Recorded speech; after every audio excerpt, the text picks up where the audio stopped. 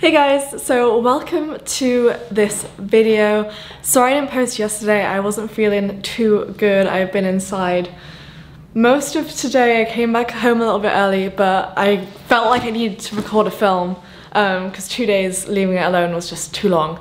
Now, today's video is going to be an interesting one. It is basically why I think having a consulting business or a marketing agency is way better than having something to do with e-com, so Amazon FBA, dropshipping, etc.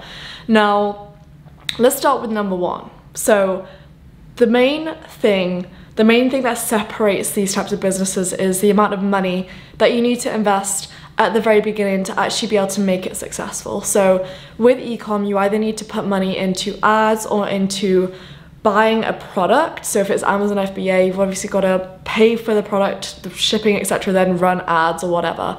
Um, with a marketing agency, with a consulting business, you don't have to buy a product. You don't need to run ads to make money. Obviously, you can run ads later down the line, but you can do everything organically and you can be successful doing it organically.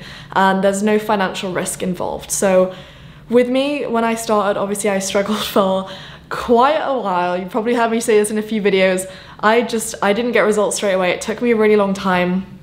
Um, I think I calculated it earlier. I think it was like 13 months.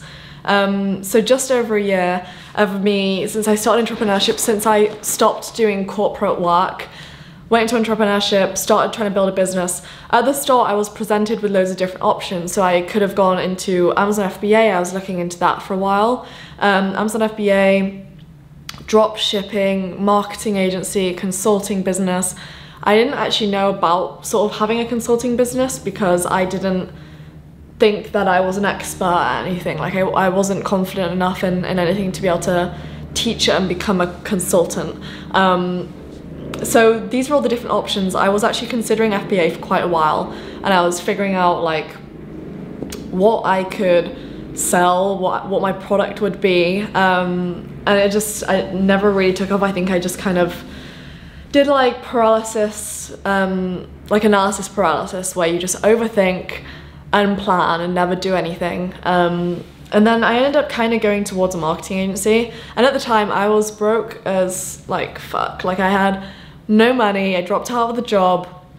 Nothing like supporting me. So if I'd gone into anything to do with ecom, if that didn't work out for me, if that business failed, I would have been screwed. I wouldn't have had another option. I wouldn't be able to carry on doing it. It would be like you've got this amount of money to make it work. If you run out, then it's kind of done. Um, so that's why with the marketing agency, I was able to fail for a long amount of time. Um, I was able, like, I had the margins to to fail, and from the failures, from the mistakes, I could then learn like the failure wasn't going to be detrimental to my business because it doesn't matter how many times I failed with it I wasn't losing money. I didn't have a set amount or like a little sort of I didn't have margins that I could move between. It was like you can carry on trying.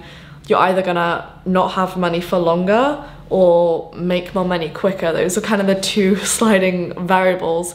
Um, so with the agency it was a lot less pressure. Um, and it wasn't a business which was like a one hit try and then if it goes badly then that's it and then I go back to corporate. So for me, I guess the point of this video was to basically, if, if you're in between I'm not saying that e-commerce like sucks, I'm just saying that for something that you want that's low risk, say if you're, you don't have as much money to spend or play around with, going towards a, a type of business, a financial vehicle that doesn't require an investment of, of money, um, either for ads or to purchase a product, then that is going to be a better option for you than going the other way. And having a marketing agency, having a consulting business, it's evergreen. Like it's something that I'm not worried is ever going to stop working. People are always going to need that service. People are always going to need marketing. It doesn't matter how it develops. I know there's always going to be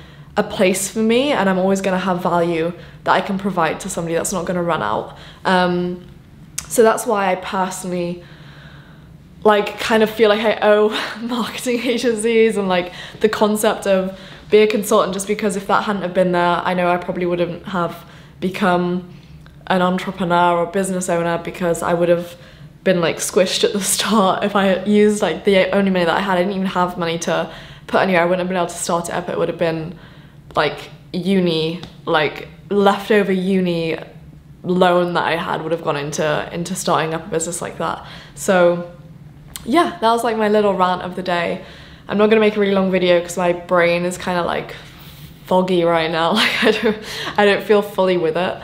Um, I just feel like I've got a cold and like a bad headache, so I don't want to ramble too much and just say stuff that isn't relevant. Um, so yeah, I hope you guys found this video interesting and you enjoyed the concept. Let me know what you think below and I will see you in tomorrow's video.